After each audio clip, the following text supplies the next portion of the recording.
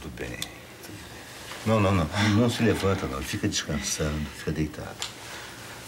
Tudo bem. Olha, Carla, você fez muito bem de ter me avisado, tá? Me diz uma coisa, Elisa, você costuma desmaiar habitualmente? Não, foi a primeira vez. É porque tá me parecendo uma coisa mais emocional. Você por acaso anda nervosa, tensa? Então eu exagerei, né, doutor? Não, Desculpa. de jeito nenhum, de jeito nenhum. Muito pelo contrário. Um desmaio pode ser sinal de muitas coisas. Algumas sem importância e algumas muito graves. No caso da Lisa, eu acho que ela está sob uma violenta tensão emocional. Doutor Alberto, sabe o Theo? Hum. O senhor conhece, né? Então, ele veio aqui em casa conversar com meu pai. Aí, o senhor já não cismou que ele estava bêbado, só faltou expulsar o Theo daqui. O Theo embriagado. Mas eu não acredito. Eu não acredito porque o Theo não é de beber. Pois é, eu não percebi nada, sabe, doutor? Mas o senhor, o senhor, já- o senhor já não jura que sim, jura que ele estava. O Theo, o Theo não tem vício, ele não fuma, ele não, não faz nada disso. Eu vou buscar um cafezinho, tá? Tá bem, obrigado. Doutor Alberto, quando o meu pai falou pra mim que o Theo não podia mais vir aqui na minha casa, me deu muita falta de ar. Eu me senti mal, minha vista ficou escura. Não, não, não, não fica assim. Deita, deita, deita. Descansa agora, descansa agora, tá? Eu tô torcendo muito para que tudo dê certo entre você e o Theo, porque eu acho que vocês dois merecem ser felizes. Vai depender daquela mulher, né? Olha, Lisa, eu, se fosse você, não me preocupava com isso, porque eu acho que a Diná tá em outra.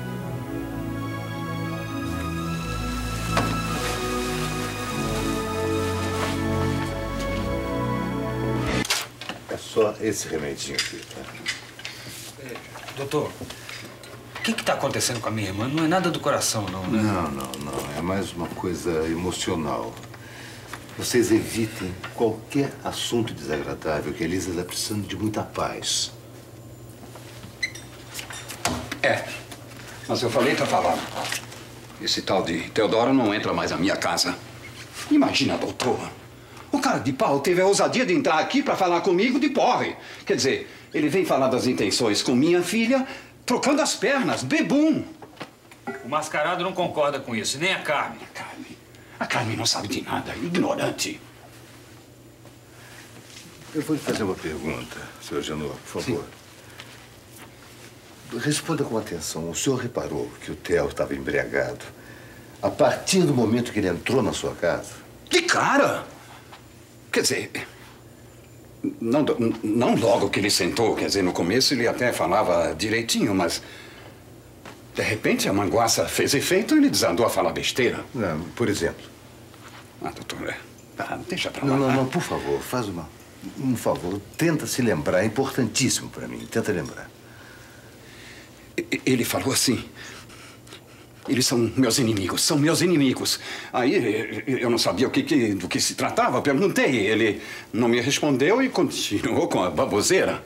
De repente, ele bateu no peito e disse: Eles não me escapam, eles vão me pagar. Eles vão me pagar. Ele disse isso, vão me pagar. E nem agora, eu não tô, eu não tô imaginando, doutor, eu sei. Fujam de mim quando eu sair daqui. Se eu não sair, é melhor tomar muito cuidado. Porque eu vou pegar os dois. Mesmo depois de morto. Aqui não tem nenhum inimigo. Tá certo, eu, eu nunca fui muito com a cara dele, mas inimigo eu não sou. Olha aqui o cafezinho, o cafezinho. Opa, o que foi? Ah, pera um pouquinho. Doutor Alberto, ele tá dizendo que a Lisa tá sofrendo muito porque ela gosta do Theo. É isso? E que seu Agenor se enganou. Não, desculpe, eu não me enganei, Pombas. Eu ouvi, eu tava aqui, Pombas. Eu não tô inventando Olha aqui, coisas. seu Agenor, toma um cafezinho, Tá bom, vai, tá bom, né? tá bom, Carmen. acalmar. Obrigado, obrigado. Gente, eu tá. vou, eu vou dar uma olhada na Liz, vou ficar um pouco com ela. Tá, por favor, Obrigado, doutor. obrigado. Nada. Com licença. Fala. Ah, sim, ele já vai, ele tem que trabalhar. Ah, tá. Obrigada, viu, amigo? Olha, obrigada mesmo por ter me tirado